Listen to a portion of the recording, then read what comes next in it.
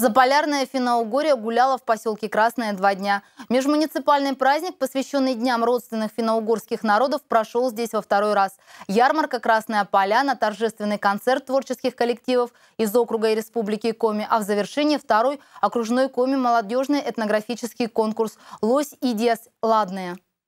Большой межмуниципальный праздник «Заполярная Финно-Угория» становится традиционным. В этом году он состоялся во второй раз и был посвящен культуре и традициям коми народа. Несмотря на проливной дождь, мероприятие открыла уличная ярмарка. Красновские мастерицы и гости из Наренмара и окружных деревень нахваливали свой товар. Это сувенир э, лицо шамана. Потому мы сами тоже из этого с рода шаманов.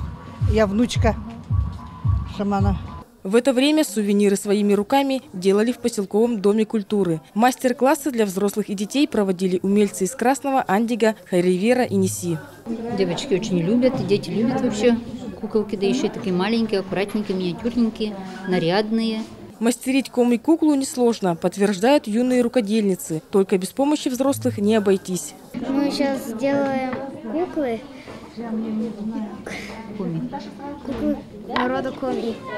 А за этим столом учат создавать ненецкие куклы-сувениры. Наталья Пурерка 12 лет работала в мехпошивочной мастерской хозяйства «Харп». Так полюбила прикладное ремесло, что не оставила его, даже сменив деятельность. Для меня не очень сложно, а кто начинает, конечно, им будет сложновато. Но я выбрала самое легкое, потому что когда-то проводила мастер-класс, делали мы сову э, ВКЦ. И там мы делали 4 часа. На стенах фойе Дома культуры фотоработы «Коми. Край родной» Виктора Прокушева и галерея детских рисунков по мотивам легенд, сказок и преданий Коми народа. Молодежный ансамбль «Июль» Усть-Куломского района Республики Коми покорил и зрителей, и окружные творческие коллективы. Каждый поет про свою судьбу, про свой род, э, э, интересные случаи жизни – в общем, вспоминает, и при этом они не впустую такой, они работают.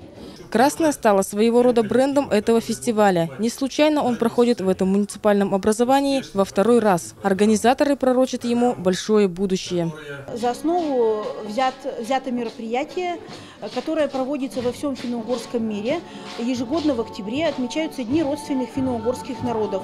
Праздник действительно удался. На этот раз масштаб гуляния перешел межмуниципальные границы, объединив регионы Ненецкий и Коми.